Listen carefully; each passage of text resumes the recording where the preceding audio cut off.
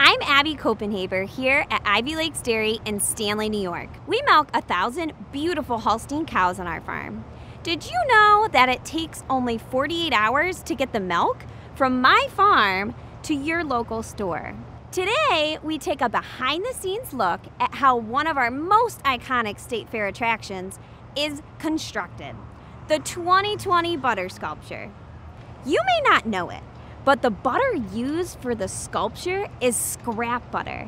This butter is from packages that might have been damaged or other circumstances that make it unsuitable for sale or consumption. So instead of throwing it away, it will be used to turn into this year's butter sculpture. Once the virtual New York State Fair is over, the butter from the sculpture will be sent to a dairy farm in Western New York where it will be combined with other food waste and converted into renewable energy to help power the farm. Let's go to the Dairy Products Building, where the sculptors are currently working on the butter sculpture.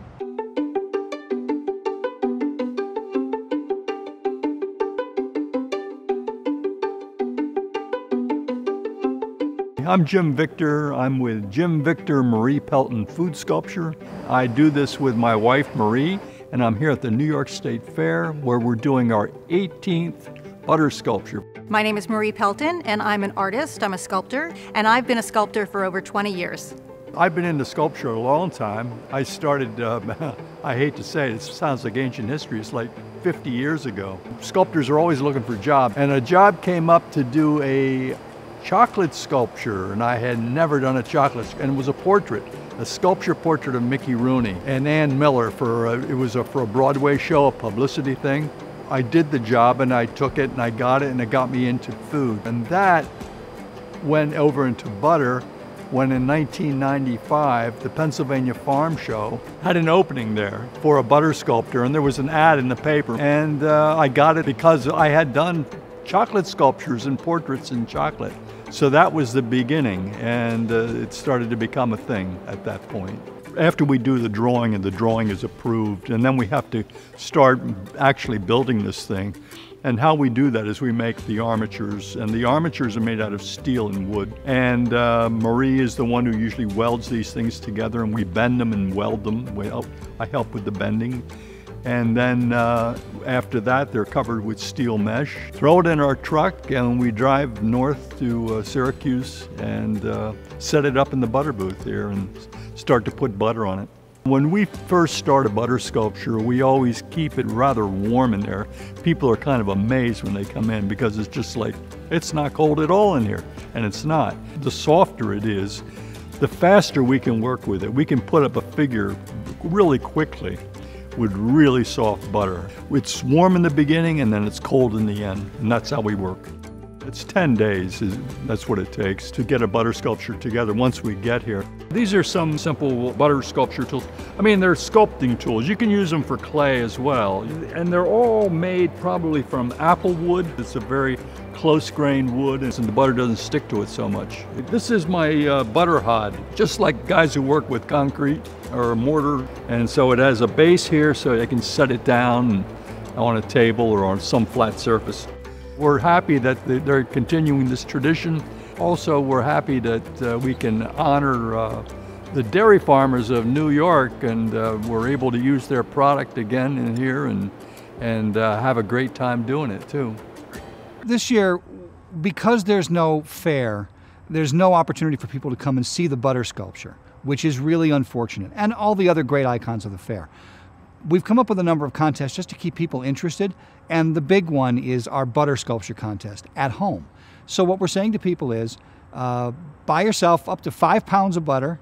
Uh, you can also use sculpting wire and a, and a wooden platform if you like uh, and, and make your best butter sculpture out of it. Go ahead, be crazy. It can be anything. It doesn't have to be dairy related. It can be anything that you think you can make a decent sculpture out of.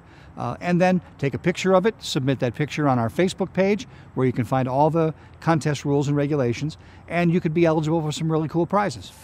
Hi, I'm Marie, and I'm going to help you do a butter sculpture at home. So I'm going to give you some tips on what you can use right from your own kitchen. Um, things that you know of very well, like a knife, a fork, spoons, popsicle sticks, a comb. The comb you can use for a lot of texture if you're doing like a stuffed animal, a teddy bear or something like that. This is actually a cheese cutter, a wire cheese cutter. And so this can be good for kind of slicing off of maybe a fresh block of um, butter. This is also a wood cutting board. So you want some kind of surface to use for your butter sculpture. So you want to get your butter um, out of the refrigerator and probably have it sitting on the counter maybe for a good hour or two hours to get it nice and soft because you know sometimes when you take it right out of the refrigerator your butter can be very hard and it, you know when you go to kind of uh, sculpt it or carve into it, it can crack and so that's not going to really work very well for you. But if it's very cold, you can also just take it in your hands and easily just kind of warm it up just with the warmth of your hand. And if you also notice, I'm wearing gloves and that's very recommended because it'll keep you nice and clean while you're doing your butter sculpture. So what I'm gonna do today, I think is um, something simple. I'm inspired by life and so I think I'm gonna do an apple today. So what I'm gonna do first is I wanna create a base for my apple to sit on.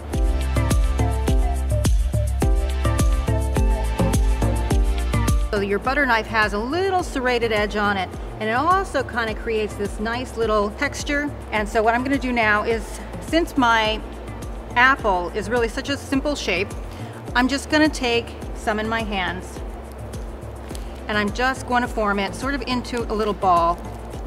Now you can actually build it up from the base if you want, but I just kind of think that it might be a little easier doing it this way.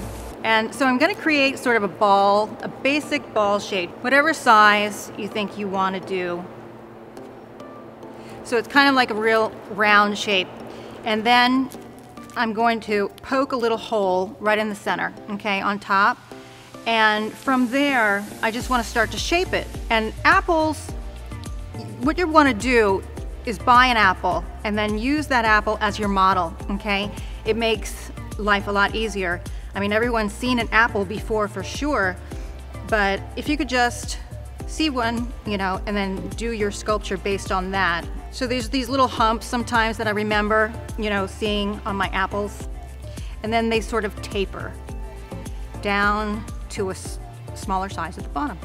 Now I'm probably at the point where I'm gonna put it down because the more that I handle it, the more mushy that it gets. When your butter sculpture gets a little, you know, too soft, then you'll want to put it in the refrigerator for probably an hour or two.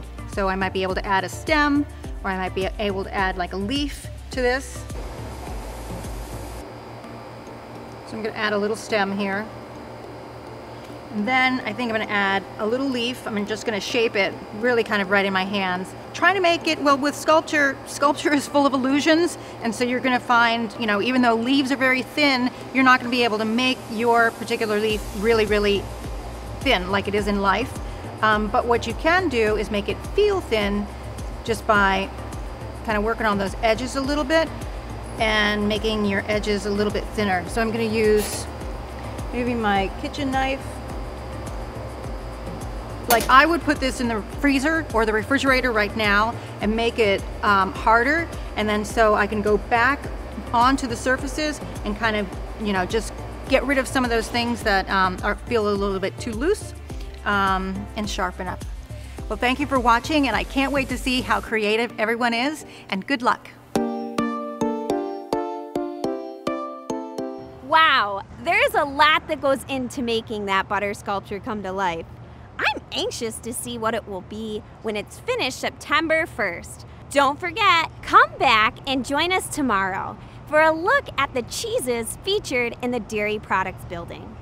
We will even have a special guest joining us with some savory dairy recipes. If you like to cook, then you won't want to miss tomorrow's episode. See you then!